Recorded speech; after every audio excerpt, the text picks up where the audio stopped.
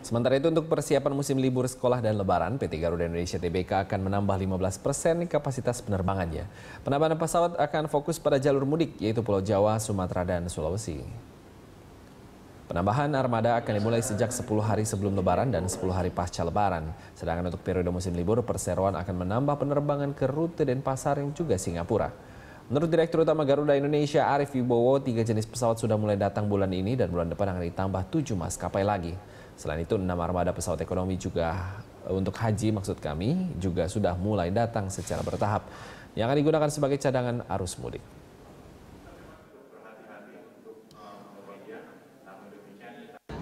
Ya, pasti karena karena kita sudah proyeksikan di Lebaran tahun ini kelihatannya akan lebih baik dibanding dengan tahun lalu karena liburannya akan termasuk juga liburan sekolah di Lebaran ini. Jadi akan cukup panjang dan kita predik antara 10 sampai 15 persen ya sehingga kita akan coba tambahkan kapasitas untuk eh, tanggal-tanggal menjelang Lebaran dan sesudah Lebaran.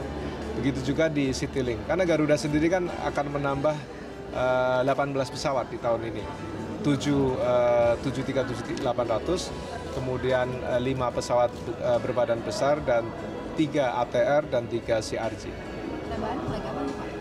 Yang Boeing 737 sudah mulai datang dua uh, di quarter ini dan ini uh, bulan depan uh, bulan depan sudah mulai masuk triple seven yang uh, ke tujuh kemudian nanti sampai akhir tahun tambahannya triple seven menjadi uh, 9 kemudian uh, Airbus 330 nya akan nambah dua jadi akan mempunyai Airbus 330 sebesar 24 armada.